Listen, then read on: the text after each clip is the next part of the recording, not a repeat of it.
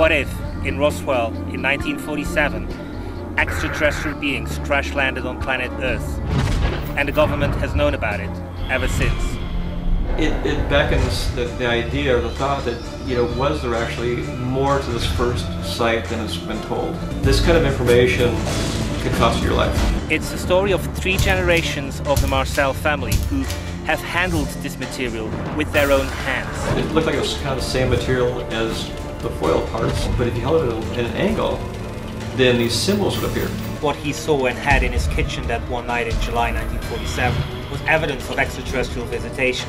My grandfather at that point remarked that you guys are probably the first ones to ever see this alien language. He raised a family with the knowledge that we were not alone. He was rejected and basically scapegoated, put in the center of, uh, of a controversy which he would have loved to have talked to people about. It is said that within the Blue Room, the secrets of UFOs can be found. Just like any other top secret program, it was going to be kept, and kept very tight.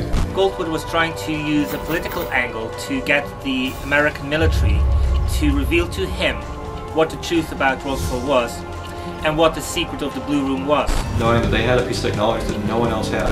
I believe that there is still a piece of it out there. Blanchard had more than one piece. Did he keep some of it behind himself? Was that one way of him giving a piece back to my grandfather? Uh, Who else could he trust to bring over a piece of the debris that he shouldn't have had? We or somebody else will find a piece of it somewhere. The American government has since put so many more layers to this story, simply because they know that at heart it is a very basic story, and they want people to doubt it.